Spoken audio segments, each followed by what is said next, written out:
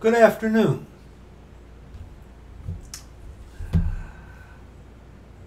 Some of you may have already heard about this. Um, you may or may not have. Um, a brother of ours sent me a link from that the Bull guy, uh, Bull Hansen, whatever his name is, talking about um, disease X. I've also heard uh, that um, the Muslims might be making a comeback. Some brethren have sent me links about that, talking about that.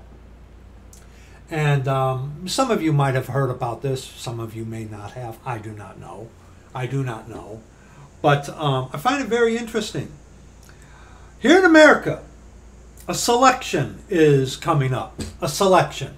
And you, my American countrymen, in the description box, okay, uh, people, don't vote.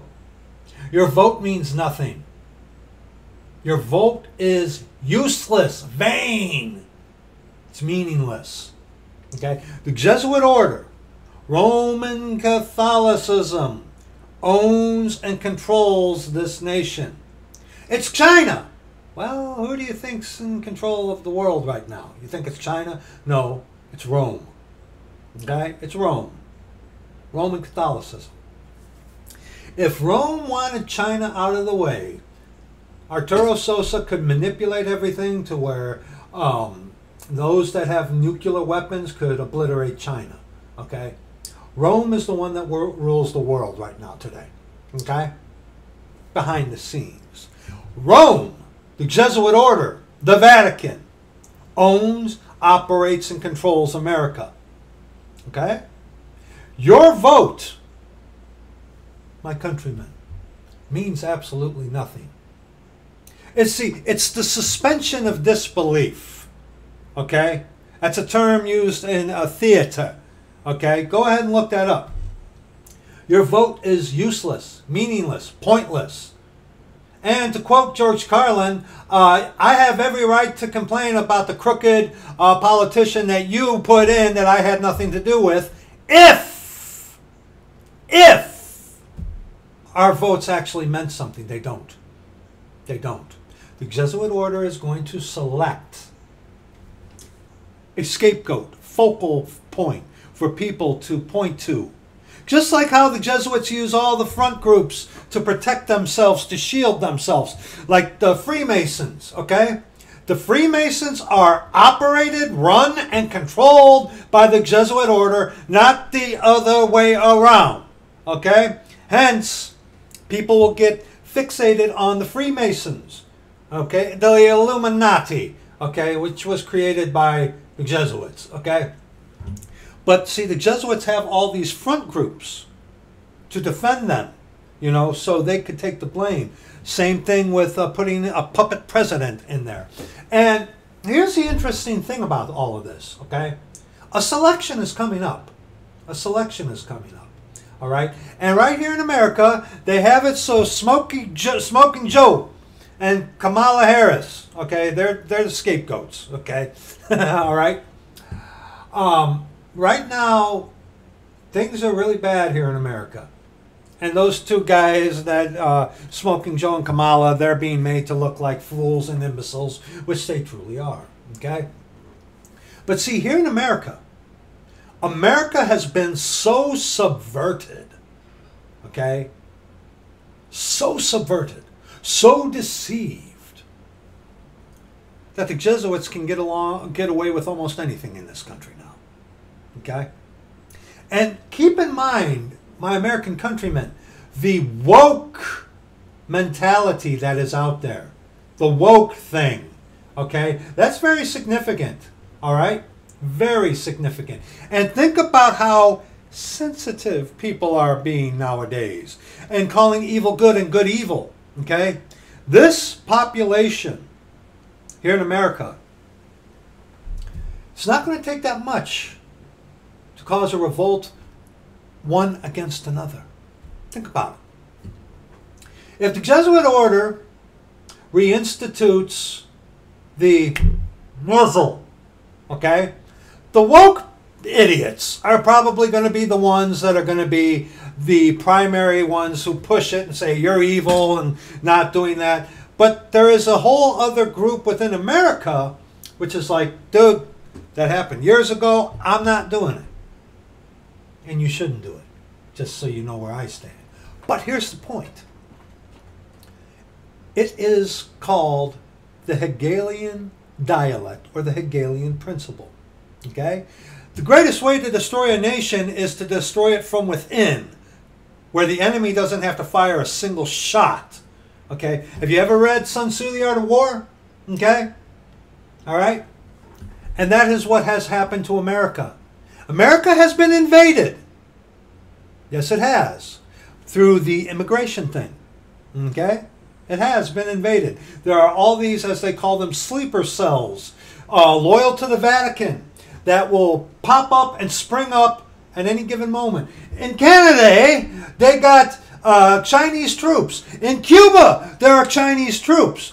Now, granted, a nation that would openly, openly invade America, that would not be bright. Okay? Because us Americans, we like guns. And I agree with this. Amen, amen. If they're going to come for your guns, my American countrymen, give them your bullets first. Amen. Amen. We have the right to arm bearers or the right to bear arms, whatever you want to do. Okay? We do. We do.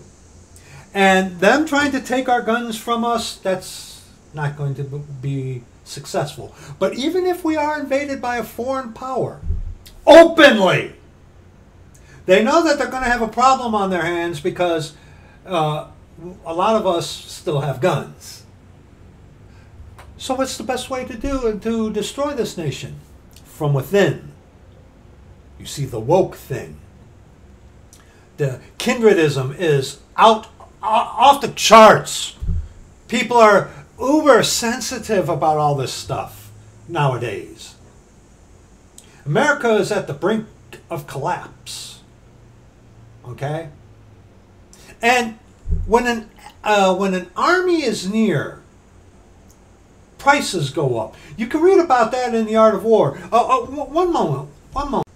Sorry about that. You you don't see that, but every at least once a year, I like to read The Art of War. Okay, they say this this was written in like 400 BC by the by Sun Tzu of the House of Sun. We we really don't know. There are those out there that believe that this is like Mein Kampf, written by a Jesuit, written by the Jesuits and attributed to Sun Tzu. Okay, whatever. But I want to read this to you from chapter 2 of The Art of War. Very interesting. Poverty of the state exchequer causes an army to be maintained by contributions from a distance. And the enemies in this country are being funded by Rome, the Vatican. Absolutely. Okay? Look at Black Lives Matter. They were funded by Soros, a Jew, a traitor to his people, funded by the Vatican. You look up on George Soros, that guy betrayed his own people and started working for the Nazis. The Nazi party was funded, controlled, and operated by the Vatican. Okay? Contributing to maintain an army at a distance causes the people to be impoverished. Ooh. Kind of like what, what America is doing with Russia and Ukraine. There are people that need that kind of help around here, but yet they're shipping it all to uh, overseas to fight the Vatican's, uh, um, you know, uh, theater of operations or whatnot. Yeah. On the other hand, listen to this. The proximity of an army causes prices to go up. And high prices cause the people's substance to be drained away. When their substance is drained away, the peasantry will be afflicted by heavy exactions. Let that roll around in your head. Think about that. On the other hand, the proximity of an army causes prices to go up. We here in America, we are seeing some pretty big inflation, uh, almost uh, weekly. For example, I go to Wally World, I get a can of uh, uh, peas for a dollar ten. Next week I'll go and it'll be a dollar forty. It's escalating. It's escalating. Why is that? Why is that? Hmm? Hmm, why is that? Well, I think, on the other hand, the proximity of an army causes prices to go up, and high prices cause the people's substance to be drained away. Hmm. What army is what army is present? Hmm? The thing about immigration, okay? And all the sleeper cells as they are called within America. Think about it. Where these people at the behest of Sosa would spring up just like that. Think about it, people. Think about it. And with how touchy and how sensitive and how woke things are right now, America is on the brink of, brink of collapse. The brink, I believe, of some kind of civil unrest. Because if they bring back the uh, before the selection, um, number one, it could be used to elevate um, for the cause of the suspension of disbelief. It could be used to elevate the likes of the they call them liberals, which um, are smoking jar, which are personified by Smoking Joe and Kamala Harris. What's the other thing? You have Trump, Napoleon Bonaparte, who is the answer to this, right? Who's like he's saying that he would stop all, he would stop the thing in Ukraine and bring all. No, no, no, no, no, no. If they select Trump, it's going to be worse, but yet in a different way. Mark my words, saints. You people, you mark my words. Okay? See what is happening. Let me put it to you this way. The Jesuit order is controlling here in America the Democommies and the Republicans to do what? To bring out their, to bring about, about what they want. What is that? The destruction of America. The destruction of America. You and I can be alive to where we can see the fall of this nation and it will be an implosion. Okay? It will be an implosion, not an explosion. America will fall in on itself. Most of you of other nations realize that America is going to implode, fall in on itself. It's only a matter of time. It's only a matter of time, dear friends, before this happens. Okay? And the hostilities that are in this country the woke, the non woke, the muzzled, the unmuzzled. It's all put there with the intention to cause friction so that we may fight, kill, and brutalize one another while the Jesuits just sit back and watch it happen. The most effective way to destroy an enemy is not to go at him head on, which is the no, more noble, if you were, way to do it. Go right at him. No. No. The better way is to drop little dirty bombs, to do these little things so that they tear each other apart from within. That's what the Jesuit order has done to America. And that is what is coming to America, I believe. I believe. I don't know what really what the Jesuits are going to do. Who knows? But I can tell you this. I can tell you this. Whoever the Jesuit order selects for the next uh, visible head of this nation, it's going to be worse than it is right now. Things are going to keep declining downward. And I have long believed and have long said that um, there will come an event. What event? I don't know. Could it be the redemption of the purchased possession? God have mercy on all you who get left behind. But I personally believe there's going to be a powder keg kind of event that's going to set everything off to where I can walk down to the Woodstock Square and I will see rioting in the streets in the Woodstock Square. Okay? I was in Shelbina. And even in Shelbina, you, you are seeing the effects of the woke transgender thing. Even in a little town like Shelbina. Some y'all, you think you're living out in the middle of nowhere? It's reaching even to those places here in America. Okay? It has spread. It has spread. America's time is almost up. America's time is almost up. How much longer do we got to go? I don't know. It is only by the grace of our Lord Jesus Christ, God our Father, that we are left here today. It is it's by his grace. And as it says in the scriptures, in Second Thessalonians chapter 2, in Second Thessalonians chapter 2, verse 7, For the mystery of iniquity doth already work. Only he who now letteth will let until he be taken out of the way. Verse 8, And then shall that wicked be revealed, whom the Lord shall consume with the spirit of his mouth, and shall destroy with the brightness of his coming. Verse 9, Even him whose coming is after the working of Satan, with all power and signs and lying wonders. Let's read on to verse 12.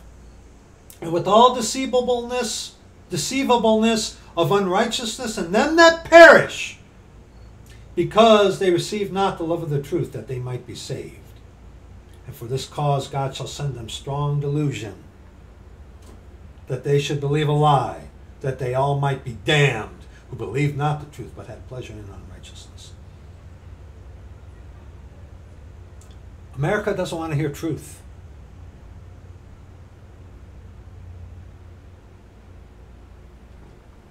There's no hope for this country. There is no hope. The only hope that there is in this country is on the individual basis. That's why you and I, dear saints, that's why you and I, we have to be vigilant. We have to be diligent. Be instant in season, out of season. Whenever the Lord opens a door, any chance we get, plant a seed. Plant a seed. It's going to be interesting to see what happens coming here in the future. Don't know what's going to be happening, but um, we need to be prepared.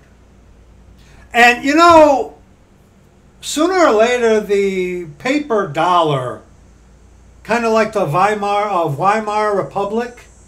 Uh, link for that will be in the description box, so you can look into that yourself. Um, sooner or later, our fiat currency is going to go belly up. And then what are you going to do? Take a wedge of your uh, troy ounce of silver or gold to Walmart and try to exchange it? How's that going to work?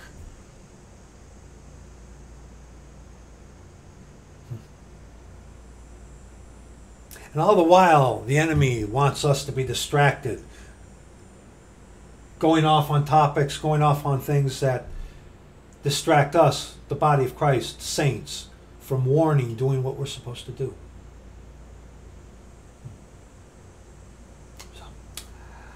So, rare little rant for you here today. I normally normally don't do videos like this, but this this was the exception today.